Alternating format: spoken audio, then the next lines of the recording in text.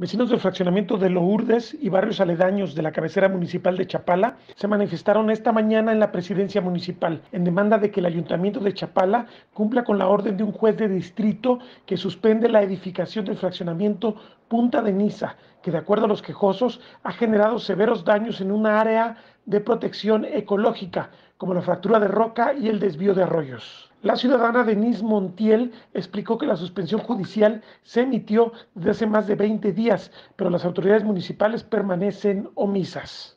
El juez décimo séptimo de Distrito de Materias Administrativa, Civil y de Trabajo en el Estado de Jalisco, el señor José Luis Gómez Avilés, otorgó la resolución en la que se concede la suspensión definitiva solicitada por los quejosos respecto a los actos reclamados al ayuntamiento del municipio de Chapala y otras autoridades.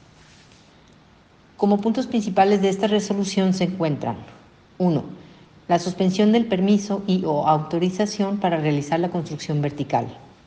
2. La parte quejosa acredita la apariencia del buen derecho y el peligro de la demora. 3. La obra reclamada se está edificando en una zona de conservación protegida por las leyes ambientales y con dicha construcción se vulnera dicha área ecológica así como su entorno y su medio ambiente. La resolución fue dictada el 25 de mayo del 2021 y hasta el momento las autoridades han hecho caso omiso de esta orden.